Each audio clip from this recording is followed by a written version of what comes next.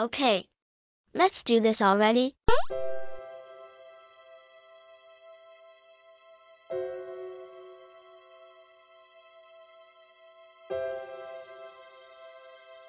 Hello, me here.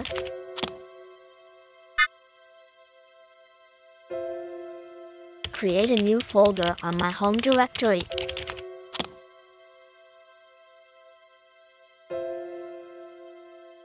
Hmm, here it is.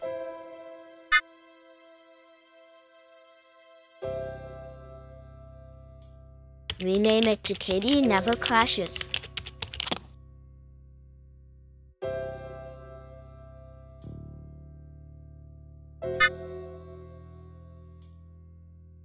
Now, create a text file inside it and say, that was the best joke ever.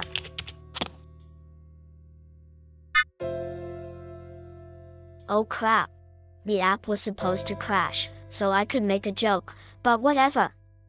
Anywho, on the bright side, Newelle actually works already, even if it's a baby app. Only a couple of weeks old. And of course it can do lots more, but I don't have time at the moment for a bigger demo only super duper fast how about it works. For start, the app isn't on FlatHub yet, but you can easily install it from Builder. Just be super cautious when using it, cause the AI can put into effect some very awful operation. And by the way, it uses BaiChat, thus ChatGPT 3.5, for creating the responses and the BaiChat Python package, which is the same library that powers the Bavarder app. I had uploaded a demo two days back if you remember.